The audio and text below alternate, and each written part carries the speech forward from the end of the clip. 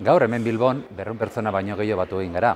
Teknaliako bazkideak, teknaliako bezeroak eta teknaliako hornitzaileak ere, katea plataformaren inguruan hitz egiteko. Zer da katea? Beno, ba, azken hilabete hauetan teknaliak plataforma berri bat jarri dau martxan, mar, e, kateak hiru e, zati dauzka, zati bat e, konputaziorako edo superkonputaziorako, biharrena e, odei pribatuak sortu e, sortzeko edo sortzeko proiektuak eta zerbitzuak e, e, ekoizteko, eta hirugarren izango litzake datuena, ez? data eta horrelakoak e, e, montatzeko.